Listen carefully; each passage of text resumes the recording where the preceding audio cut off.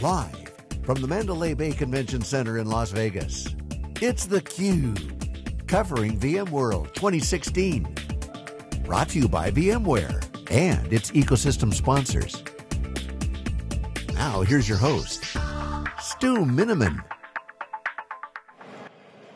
Welcome back to theCUBE here at VMworld 2016. I'm Stu Miniman, joined with my guest host, Keith Townsend. Happy to dig into this session to some of the happenings in cloud. And for that segment, welcoming back to the program, Peter Cutts, who's the Vice President of Global Solutions inside the EMC Converged Platform and Solutions Division, or it's uh, EMC CPSD now. Uh, EMC always changing around the acronyms, uh, moving things around. We talked to Chad this morning, but th thanks, Peter, for joining us again. Thank you for having me, and of course, if we can't put an acronym on it and square it, then, you know, we don't have something. All right. Speaking of acronyms, uh, your group, the main two things you have, it's EHC and NHC. Uh, give us the update on kind of what those are, the announcement you had this week, and uh, what you're talking to customers about. Great. So exciting stuff. I mean, Enterprise Hybrid Cloud, uh, EHC. We always had to throw the acronym out, but from a standpoint of updates, you know, what's been really exciting is look, it's a turnkey IaaS platform. It's helped customers accelerate the vRealize suite, you know, converged, complete turnkey IaaS with lifecycle for apps, all that stuff. It's been great, phenomenal. Customer adoption, as Chad mentions, it's it's growing like crazy. In the announcement, we kind of said 178% growth. You know, really just screaming the key is the updates are really focusing on our customers' needs. So we've been interviewing and doing a lot of agile fashion development with the developers and line of business owners in our customers, and just having them help us refine and add features. So it's been really great, and you know, so we're really focused on a couple things: more sites, simpler, and literally allowing you know compliance across the board, encryption on demand, um, cross-cloud encryption, those type of things, all kind of in the fundamentals of it. So adding more to it while continuing to make sure it's rock solid and delivering what our customers need. Okay, so the EHC being, you know, infrastructure as a service, it, it might be tough, I would think, to find, you know, what is that killer use case? What's the thing that's bringing customers to EMC, deploying that solution? What, what's some of the key drivers there? It, it's really um, a couple things. So turnkey, right? So I need this, you know, to be life cycled, managed, supported from a single organization, a single kind of entity, because again, you know, the piece parts and, the, and kind of assembling it is a way to do it, but a lot of our customers are saying, I want to focus on you know, my value, which is building banking applications or manufacturing or other pieces. So killer use cases, true uh, IT transformation and automation.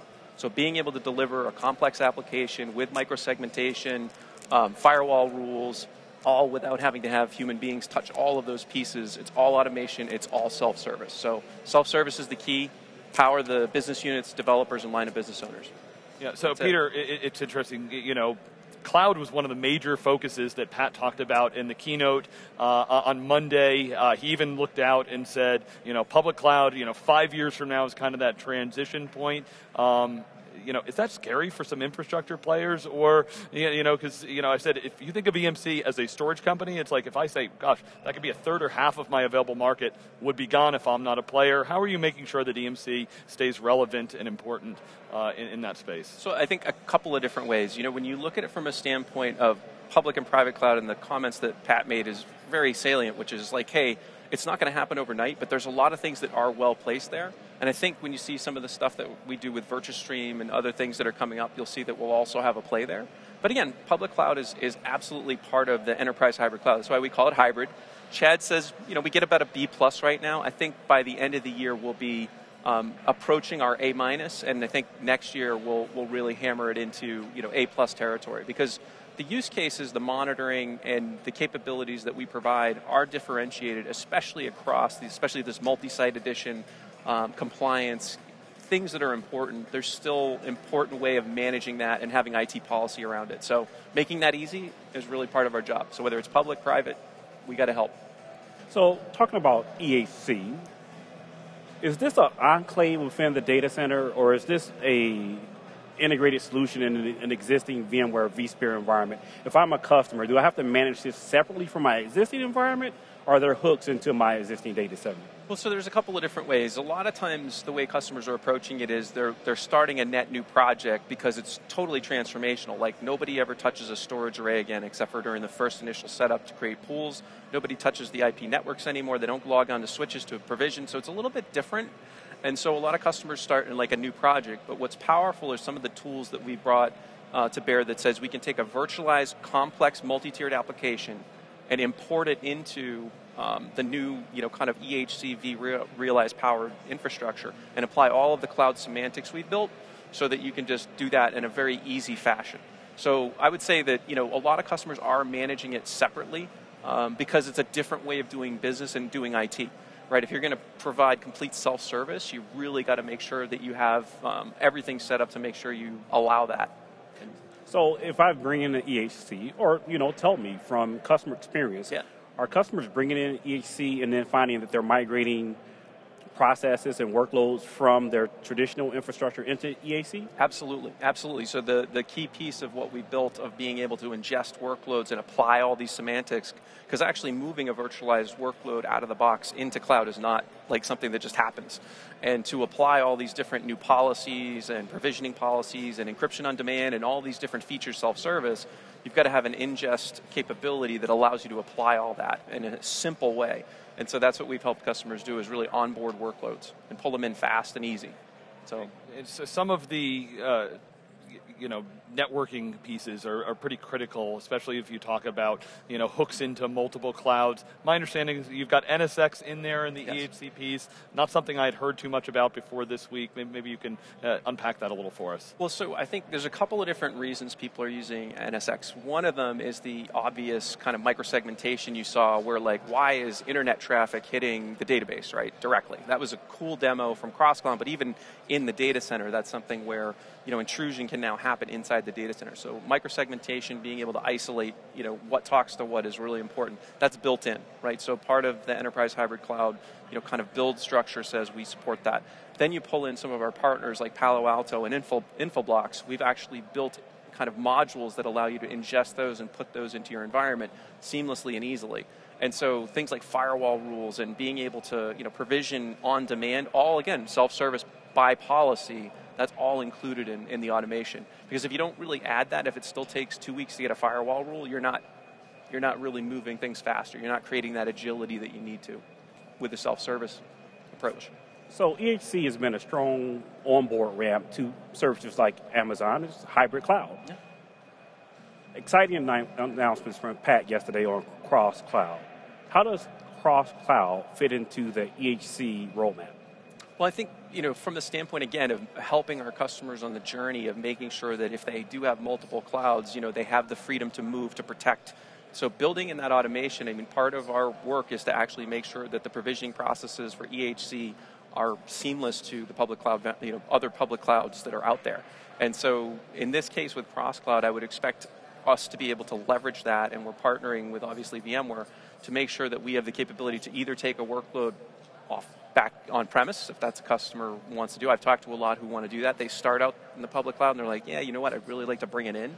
These are things that will help make that easier, I think, and also you know, make things more um, secure and manageable. So. so. speaking of secure and manageable, so I have an EHC, I have cross cloud. Let's say you know another part of my data center. Is there an integration path between the NSX that exists in EHC and the NSX that uh, exists in the other part of my data center? Yes, absolutely. I think that the beauty of NSX and the software-defined networking is it really does allow you to bridge across the data center and provide that. So, absolutely, um, no, no, and again, that goes out to public clouds. Anywhere you use it, it allows for that. So, absolutely. All right, Peter, let, us talk about a little bit about NHC then. Uh, you know, can you kind of compare and contrast kind of the, the customer set, you know, the, the business drivers, you know, what, what's differentiating that? And, you know, are there paths between those two? There are, and one of the things you see, especially when you look at kind of the solutions, you know, EHC is really all about, you know, the complete automation and self-service nature of stack-based application development, as well as traditional applications like Oracle SQL, you know, branded apps that need complete automation, life cycling automated. You don't want to have people patching things anymore. You know, all of that stuff gets kind of worked into it. From a standpoint of um, the value it provides, it's really returning back, you know, what I would call, you know, savings. You know, some of our customers that you guys have obviously interviewed and talked to, you know, 25% savings in cost, right? That's a huge deal right out of EHC. But then there's this other piece of the business, which is, you know, I need to have agility that is completely focused on, you know, the, what we call the green field. However you want to look at it, it's really all about cloud native. And when you get into cloud native, one of the things that's powerful about native hybrid cloud, we've basically taken a similar but different approach to the enterprise hybrid cloud, and we've taken basically the package of turnkey PaaS and really built it so that customers can realize an actual platform that allows you to deliver that PaaS experience and that developer experience literally turnkey and lifecycle it. Because again, just because you're in you know mode two or platform three or in cloud native, you're in a situation where you still have infrastructure that's underneath, as Gil just mentioned, right? You got to lifecycle that. Uh, Pivotal Cloud Foundry releases once a quarter. You've got to make sure that you continue to update that, and then you've got to have an operations panel that allows people to actually talk from the applications team to the to the operations team. So, and we've built all that and given that kind of power to the customer. So, when customers look at it, it's really a two-pronged approach where I can actually automate, take cost out, and invest in basically cloud native apps. And by the way, the cloud native apps still need to talk to the systems of record. So you got to have both. And it's a really powerful, you know, kind of combination for customers. All right, so Peter, I want to give you the final word. Uh, you know, talking to lots of customers at the show. Any kind of you know really fun or interesting or you know surprising stories that, that you've heard that you can share with the audience? I think the, the stories that were interesting to me, other than, of course, um, when Chad and I did the uh, analyst thing, and I got the mic twice, I think it was, out of that. No, it was funny. That's a story. He wrestled it from him. That, once, I wrestled know? it from him, but it was, you know.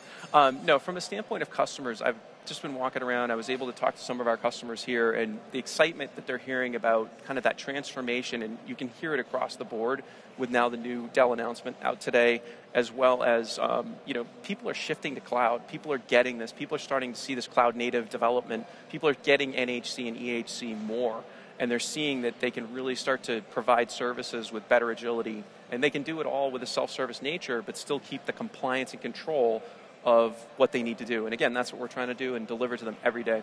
All right. Peter Cutts, really appreciate the updates on everything happening in the Converged Platform and Solution Division inside EMC. We'll be back with lots more coverage here from VMworld 2016. You're watching theCUBE.